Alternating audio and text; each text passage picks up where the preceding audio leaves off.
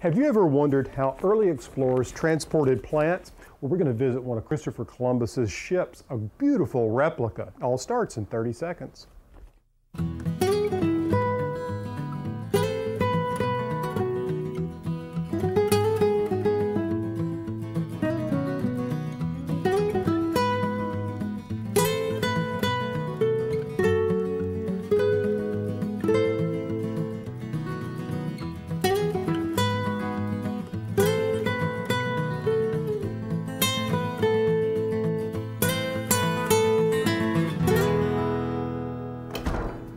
I'm Allen Smith. Welcome to the show. Man, am I excited about the topics today. We're going to take a look at one of Christopher Columbus's ships, the Niña.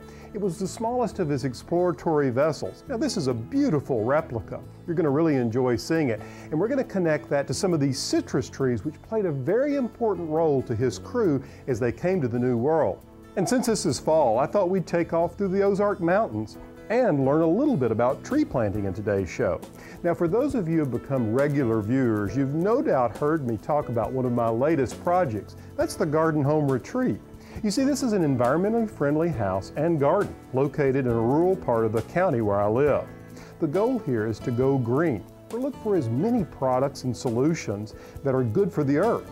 Also today, we'll find out about the adventures of an English botanist who passed by this spot long, long ago and how his travels inspired a book about the Arkansas Territory.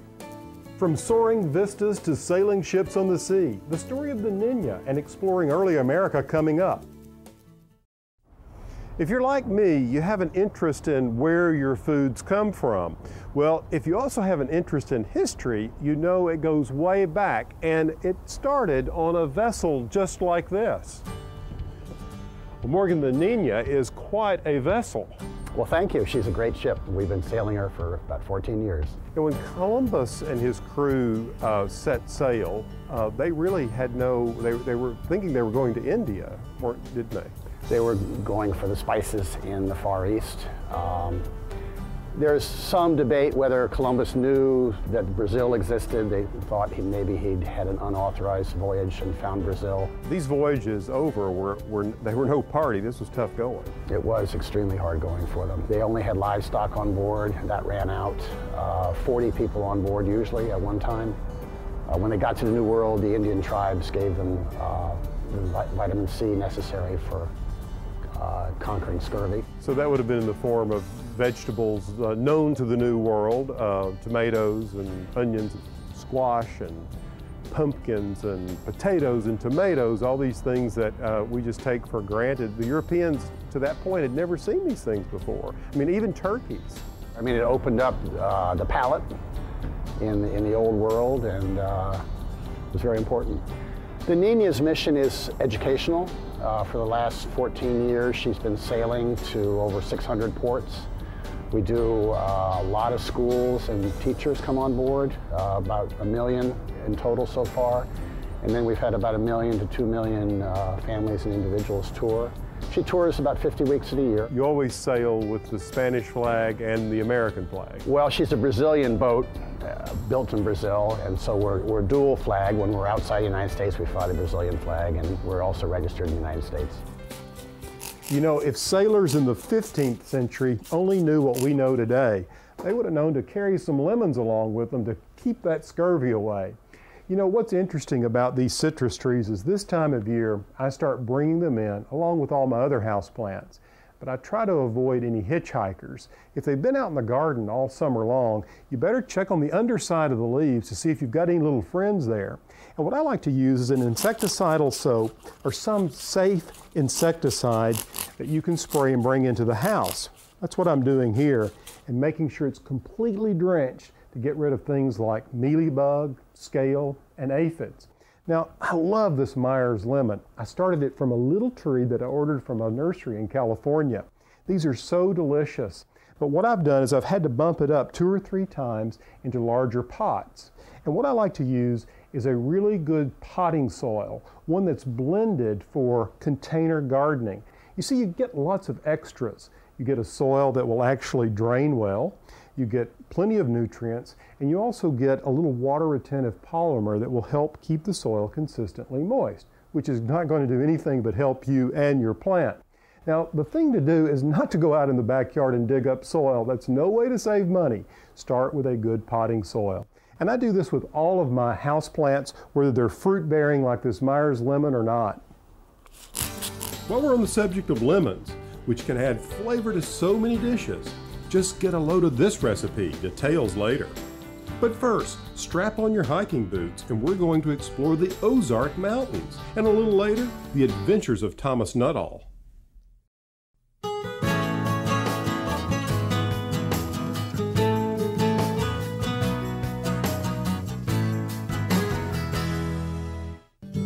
I have to say, fall is one of my favorite times of year. It really is magical.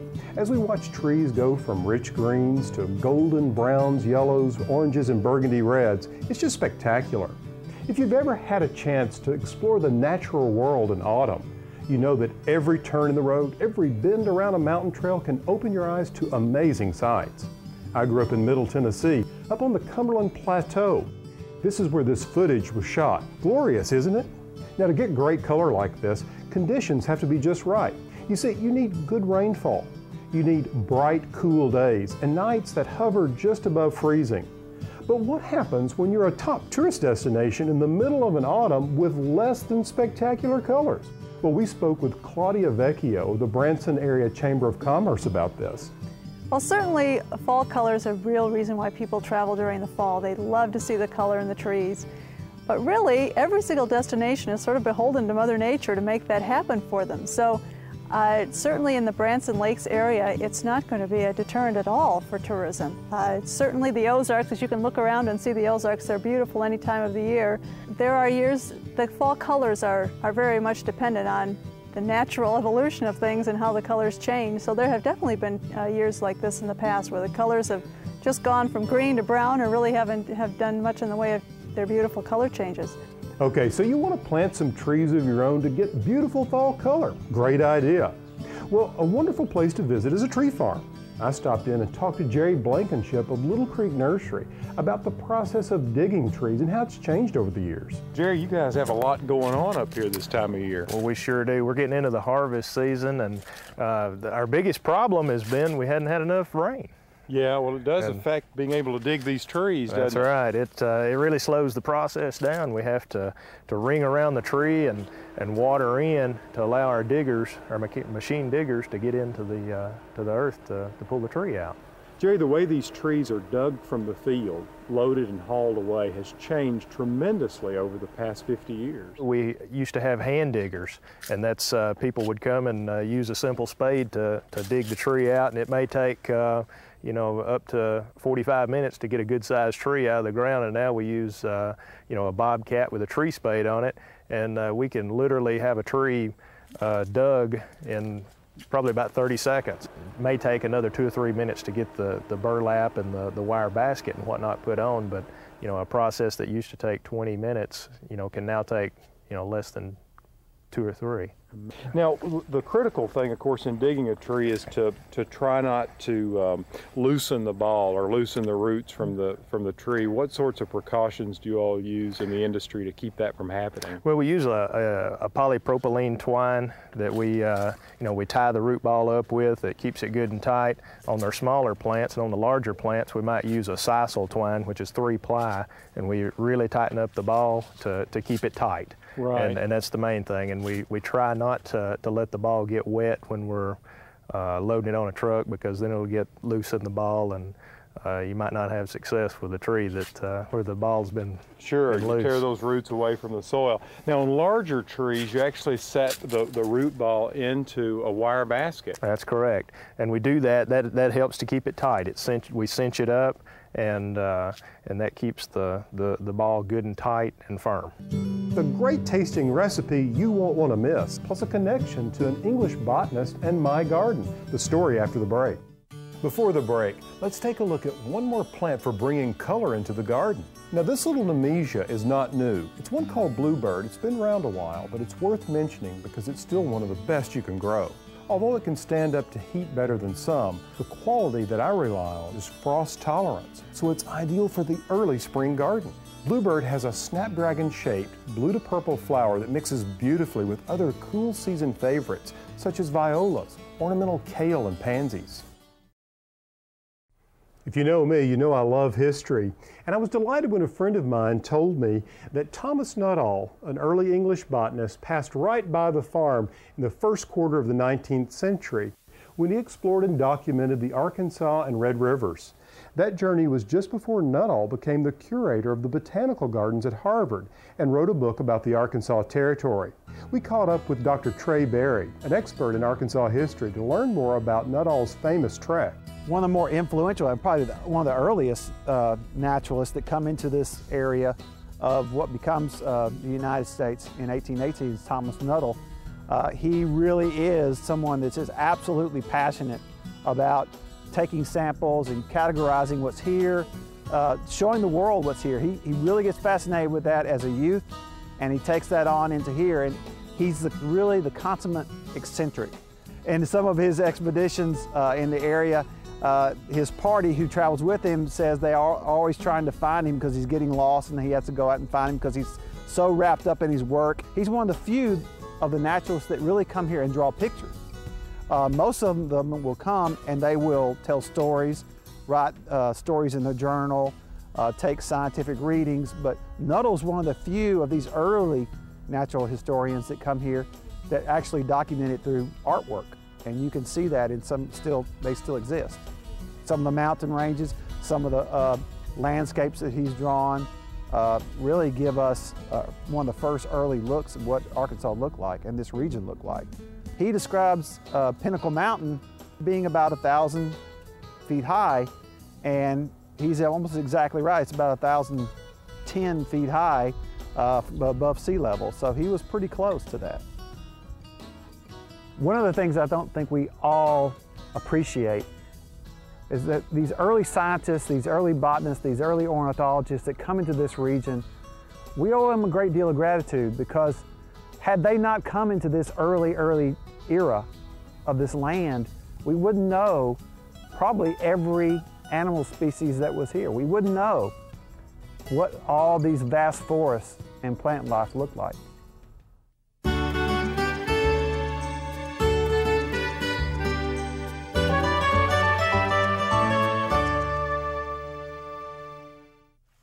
This is the garden of Master Gardener Mary Lynn Tilley during the winter, and I want you to listen for just a second.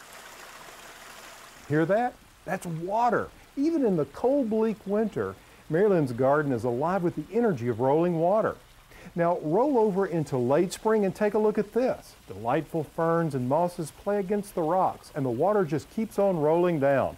What a perfect complement to this woodland setting. I've lived here 30 years with my husband. We had our two children here. Um, I started gardening seriously about 15 years ago. I am a master gardener, been a master gardener for about seven years. I'm currently president of the Pulaski County Master Gardeners. So I've planted maybe 20, 25 trees. Uh, we've redone some things that we did when we first moved in. My interests have changed. I've gone from loving native plants to liking ornamentals. Uh, I still am interested in trees. I love bulbs. Um, I love shrubs. Um, I like my garden to have a four-season interest, so I try to go that direction whenever I can. My husband helps me a lot. When we first moved here and we had small children, he gardened. He, he tended the yard, as he would say. He mowed and, and um, planted. As we both have gotten into gardening, uh, he has gone past digging holes for me to having opinion. I try not to worry over something that fails. I try not to look at it as a failure. I try to think, okay, this is a new experience for me, move on, find something else. And because gardening, I mean, it's that same old thing of life is short, enjoy your garden and do whatever it takes to enjoy your garden. From a well-stocked woodland garden to a stuffed red snapper, stay tuned because we've got a delicious recipe with Chef Eric Isaac up next.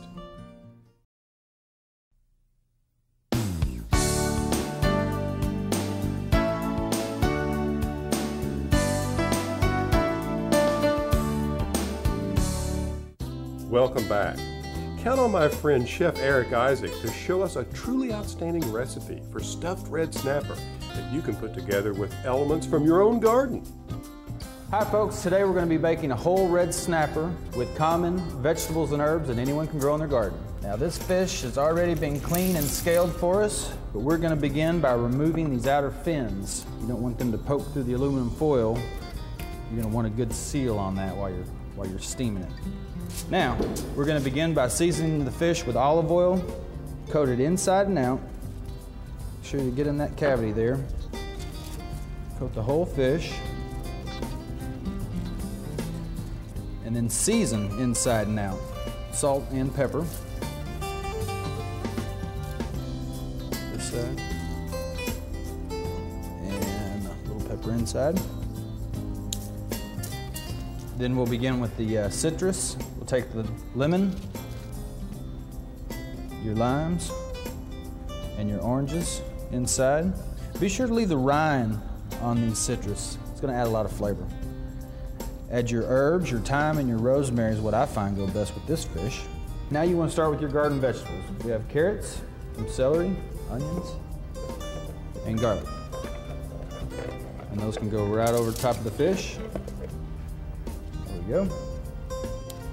And then we're gonna add a little butter also. Put that right over the fish. This butter is gonna melt and it's gonna blend with this white wine and the juices from the fish It's to steam it once it's in the oven. But you do want to season it again. Just make sure any that was washed off stays on. Salt, pepper, and drizzle the rest of the olive oil over the top. Wrap this up in the aluminum foil.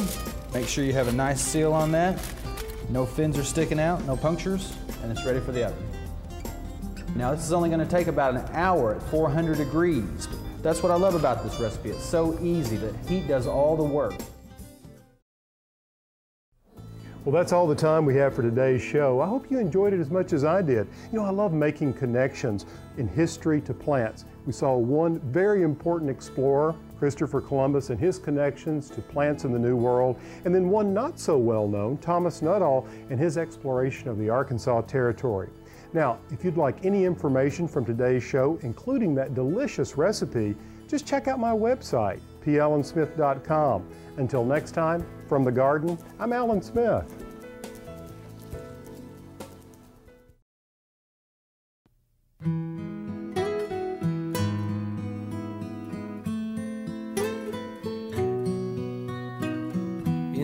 Garden I dream of a bed of flowers. Bluebirds sing of the beauty all around us. And every time the sun comes out, I can't help but smile. Oh,